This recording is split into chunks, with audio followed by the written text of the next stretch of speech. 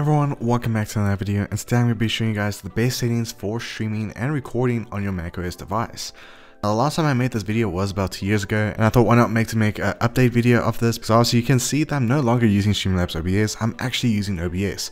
Now the reason why I'm using OBS is because OBS has more integration for macOS users. So for example, you can now actually capture your desktop audio, which means you can actually now basically play music in your streams and so much more without installing any weird software which you had to previously do because obviously there was no other way.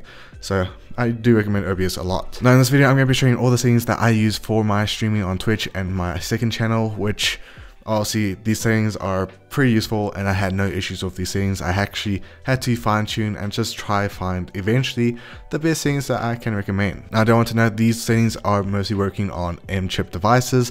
So if you do have an older Mac device, I'm not too sure if these settings will work on your system but you can still try these settings on your system as well. Now the main things we're going to be focusing mostly on is output and video. With OBS you can do more customization with your appearances and all that and going to stream RLC, this is where you're going to put your main stream destination. I'm going to output, my output mode is on advanced and there's a reason why. So go into your streaming settings, go to your video encoder and make sure this is on Apple VT H264 hardware encoder. Now the reason why I recommend this encoder is not only does it give you a stable stream for when you stream on Twitch or YouTube, but also it allows you to basically use other software while you are streaming. So if you are going to be streaming with this video encoder, you can also play some music in the background, you have a few browsers open for if you're wanting to react with your viewers.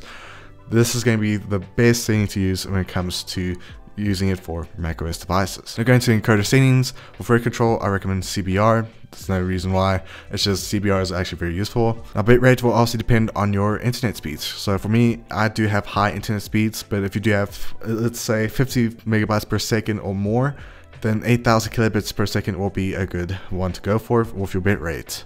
And so it's very useful for when you do multi-streaming. Now, keyframe interval, this is something that I've actually seen a lot with a lot of tutorials on YouTube.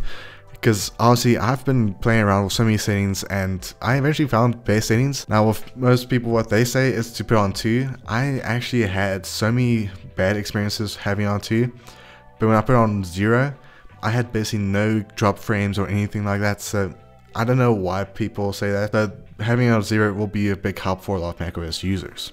Now profile I put on main because you don't want to obviously use too much processing power on your OBS otherwise it just makes your stream very laggy and you can lose the stream pretty quickly. Now going to video, obviously this is mostly just for your display. I keep it on 1080p for both because well when you're streaming on twitch there is no way you're going to be really streaming 4k twitch does not support that unless you're going to be streaming on youtube which does support 4k streaming but if you're going to be streaming on twitch these are the best things to use now with common frames per second, 60 is going to be best for gaming, but if you are going to be doing more IRL streams and reacts, 30 frames will be the best to go for. But otherwise, that's everything you need to know for this video. I hope you guys enjoyed, and let me know in the comments below if you want me to do a tutorial of how to do virtual recording with OBS and multi-streaming, because obviously, most people want to know that, and not everyone knows how to do it. But otherwise, hope you guys enjoyed, and I'll see you guys in the next video. Bye.